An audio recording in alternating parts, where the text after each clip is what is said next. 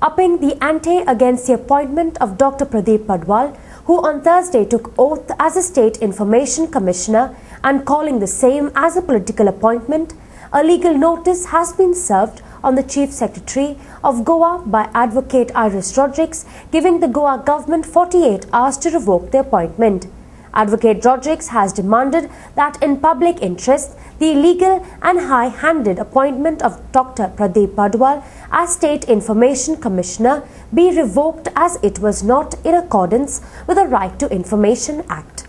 He has also pointed out that Section 15.5 of the Right to Information Act requires that the Information Commissioner should have wide knowledge and experience of law. Advocate Rodrigues in his notice has alleged that Dr. Padwal had no knowledge and experience in law whatsoever and also did not possess the eminence required for the position, stating that the State Information Commissioner would be drawing a salary equivalent to that of the Chief Secretary of around rupees 1,20,000 a month Advocate Rodrigues has stated that it was important to ensure that the person appointed did not become a liability, an embarrassment to the state for five long years. Failed in its attempt to appoint Pandurang Nadkarni as the State Information Commissioner, the Goa government now has high handedly and illegally appointed Dr. Pradip Padwal as the State Information Commissioner. So I have served a legal notice on the Goa government today the legal notice has been served on the Chief Secretary to immediately revoke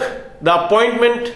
I have in my notice also told the Chief Secretary that if the appointment of Dr. Padwal is not revoked, I would be compelled to move the Honorable Bombay High Court at Goa to seek appropriate orders in this case. I would remind the Chief Minister of Goa, he has said zero tolerance to corruption. How do you justify appointing a person with a vigilance probe against him as the State Information Commissioner. This is something the Goa government will have to explain to the people of Goa.